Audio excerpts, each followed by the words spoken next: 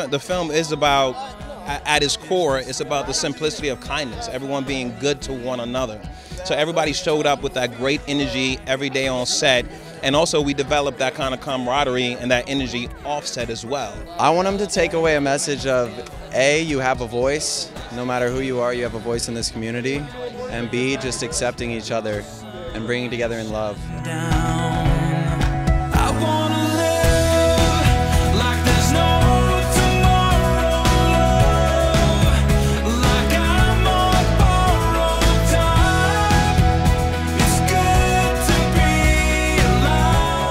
alive. If you agree or disagree, loving first is the first option. Love first. Differences, we'll settle it later. But hate, hate cannot be an option.